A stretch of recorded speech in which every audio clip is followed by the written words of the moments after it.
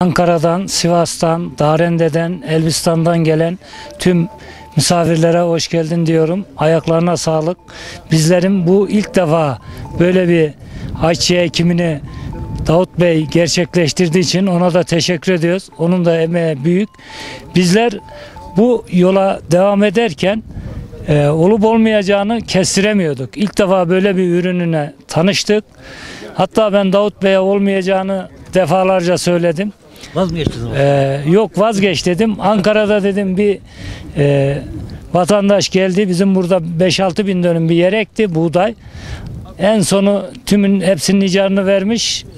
Bizim 750 külek icarı vermeye gelince 250 çıkmış 500 de Ankara'da gidip göndereceğim Haymana'da demiş. Babam da demiş ki ya zaten sen hepsini verdin. Bu da benim tarlamda geliyor 500 de verme git daha bundan şey mi olur demiş. Onu da söyledim latife olarak Davut Bey'e.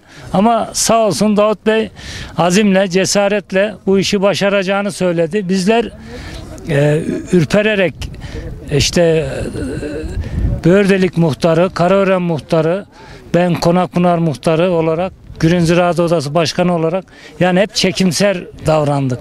Niye? İşte bu, kadar büyük bir e, yükün altına girmek elini kolunu değil gövdesini taşın altına koyuyor dedik. İnşallah başardı. Yolun daha başındayız. Bu daha iki köyün e, hatta bir köyün çekirdeği.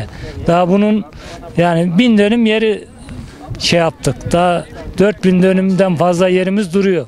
Yani çekirdeklerimiz duruyor. Daha onları e, işte ediyor, işçiler devam ediyor. Aşağı yukarı yüze yakın işçimiz çalışıyor. Burada buğdaydan, arpadan değişik bir ürüne yönelmek istedik. Ben de alternatif ürün meraklısıyım. Kinoya ektim, kimyon ektim, aspir ektim ve bu yılda ayçiçeği ektik. Alternatif ürünü seviyorum. Yani ülkemize katkı sunacak işte dolarla dışarıdan e, malzeme getireceğimize kendi içimizde Türk liramızla bu işi becereceğimizi gösterme çabası içindeyiz hep. Onun için zarar da etsek maddi ve manevi şeylerimizi düşünmüyoruz. Sadece ülkemize ne kadar daha çok karlı oluruz onu düşünüyoruz. Bu açıdan da her türlü alternatif ürüne açık halde çalışıyoruz. Ve sizlere de teşekkür ediyorum.